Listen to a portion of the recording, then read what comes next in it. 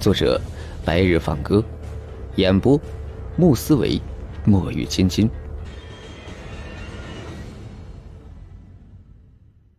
一千七百三十三集。而且，这三种玄门之气在水晶球上面分布的十分均匀。这拥有特殊录制视频功能的水晶球，不是三种玄门术法配合造就的，便是三种玄门之气合理的构造的一个术法。才让这水晶球有了如此的功能。单一的玄门术法是构造不出这样神奇的东西的。张凡拿着这个水晶球打量了四五分钟，但除了能感知到三种玄门之气之外，他并没有发现有其他任何的特别之处了，也更加没有研究出别的什么东西来。该如何观看水晶球里面录制的内容？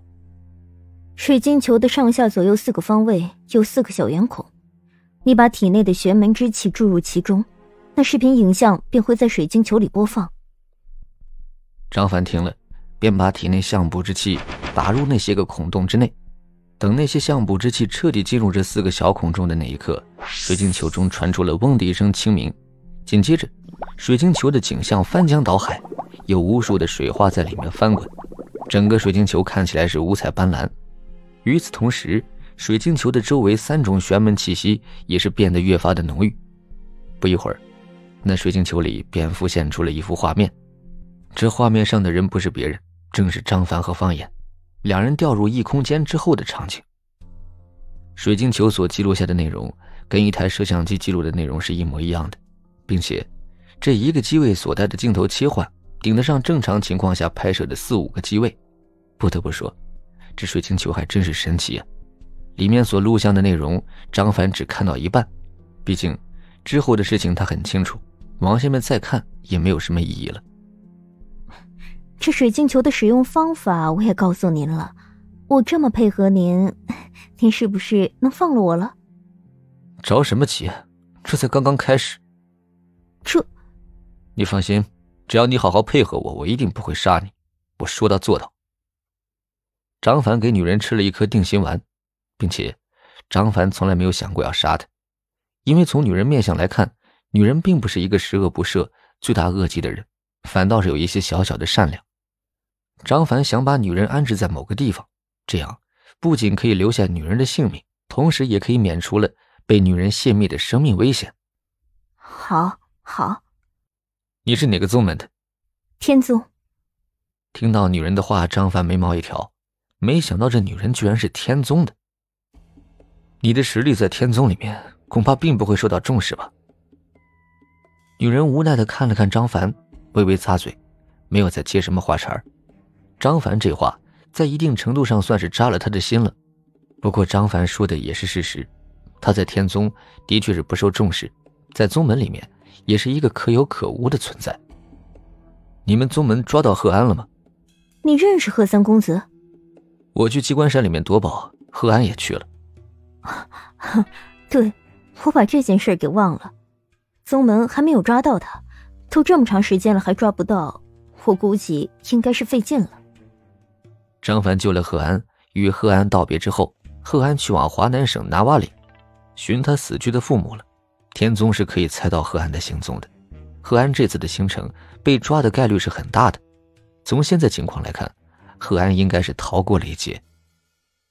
你们都说我上次从机关山里面得了一样宝物，你师傅有没有告诉你那是一件什么宝物呢？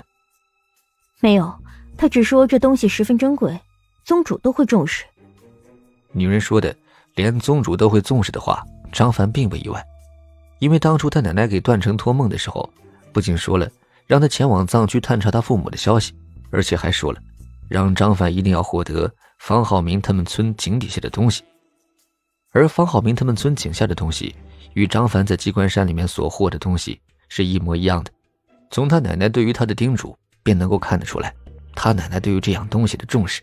那么天宗的宗主也重视，这是很正常的。那你们这次去往机关山，获得了什么东西？